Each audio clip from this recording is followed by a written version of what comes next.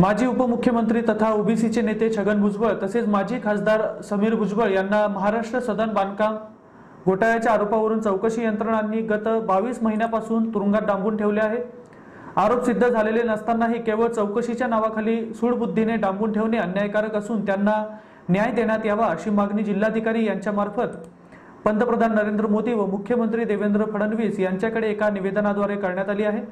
दोन जानेवारीला हे निवेदन देण्यात आले असून या निवेदनावर माधवराव हुडेकर प्राध्यापक सदानंद माळी निलेश तायडे रमेश हिराळकर राजेश मुंगळे त्र्यंबक भराड यांच्यासह इतरांच्या स्वाक्षऱ्या आहेत.